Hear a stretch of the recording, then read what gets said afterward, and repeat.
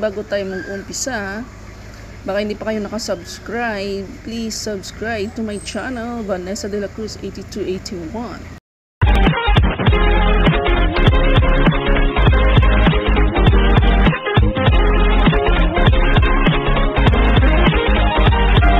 Dito sa unang atake ni Jimmy, hindi nag-success dahil na yung bola pero nag-request ng challenge baka sa kaling nag-touch block yung bola. Malawang atake ni Jima na field uli siya dahil na-block ni Dina Wong yung bola at iyon puntos ng Chocomocho.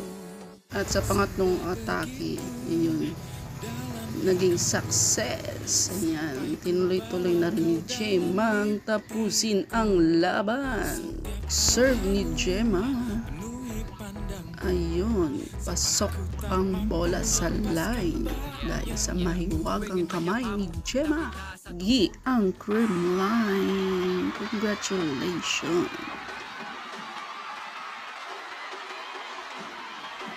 the number one team in the reinforced conference